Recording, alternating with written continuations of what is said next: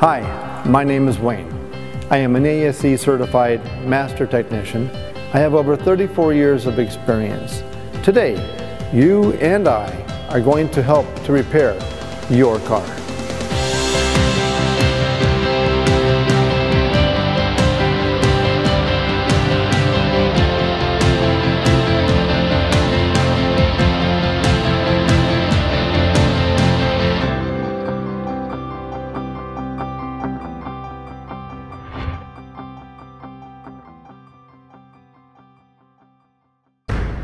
Our customer brought us this 1997 Ford Explorer with a 4-liter single overhead cam engine. The complaint is that the engine runs rough, the car shakes at idle, and we have a check engine light on. For our diagnostics and repair today, we will be using our fender cover, a vacuum gauge, our safety gloves, our safety goggles, quarter inch drive ratchet, an extension, 7 millimeter socket, 10 millimeter socket, crescent wrench, a 14 millimeter wrench, our trusty flashlight, the Innova Pro Scan tool, some penetrating oil, and a vacuum pump. Now since we have a check engine light on, pulling the codes will help us diagnose our car.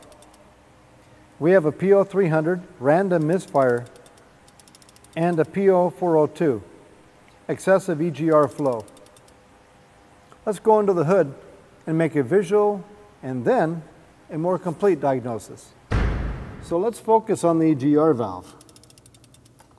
We look and make sure that all of our connections are good on our EGR, our pipe coming in, and our vacuum supply side. We'll remove our vacuum line from the EGR valve and hook up our vacuum gauge. Now at idle, we should have no vacuum. Go ahead.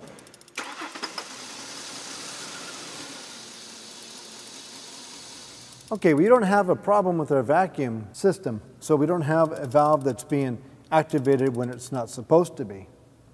Let's suspect that we may have either carbon deposits in the valve itself or just a stuck valve. Now for that part of the diagnostics, we're going to need to remove the EGR valve and physically check it. We also want to check and see if our gasket is broken. We could have a big leak there. This gasket is somewhat cracked. You can see the carbon that's up in the valve. Now the carbon deposits will cause the valve to stay off its seat and that will give us our random misfire at an idle and create a drivability concern.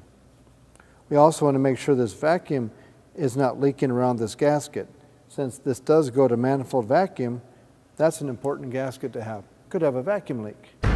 Okay, let's compare our valves. Our new valve appears to be identical to the old one. Sometimes you can match them up by the numbers that are on there, and the numbers are the same. Let's put it on. Now with our new EGR valve all tightened down and installed, let's put the engine cover back on, clear the codes, and go for a road test. Simply push the eraser button. Good. All the codes are gone. Now there are a lot of things that can cause an engine to stumble at an idle, the car to run rough or to shake, and for the P0300 to set, the misfires to happen. On this particular car, we had a stuck open EGR valve. So we professionally diagnosed this car, we professionally checked it, and we professionally repaired it. Good job. Let's send it back to the customer.